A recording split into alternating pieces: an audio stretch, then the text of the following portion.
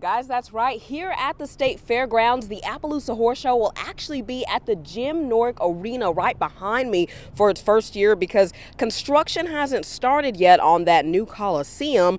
But soon, summer of 2023, the 75th Appaloosa Show will be right here in OKC.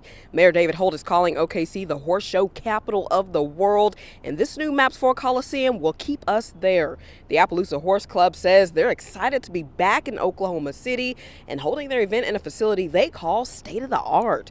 The club, not the only ones excited about today's news, the state fair is pumped too. We got some exciting news last week when the uh, Appaloosa Horse Club out of Moscow, Idaho, announced that they're bringing their uh, National Appaloosa Show and their World Championship Youth Appaloosa Show to Oklahoma City next year. They had been here in the past and they're coming back, uh, and it was based uh, in part by the fact that we're building a new Coliseum for them. And guys, even if you're not a horse lover, I can tell you that this is going to bring a lot of dollars into the metro. The fair says people will be sh uh, shopping at different vendors, eating at restaurants, staying in hotels, and that'll bring revenue into the city. So guys, this time next year, the state fairgrounds might look a little different. In Oklahoma City, Megan Mosley, KOCO 5 News.